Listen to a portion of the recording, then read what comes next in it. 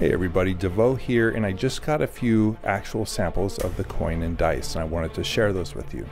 The coin has a very nice weight, is beautifully polished, and individually numbered. The dice look like they're hand sculpted. They just really gorgeous, have a nice shine to them. Together, these things are just unbelievable.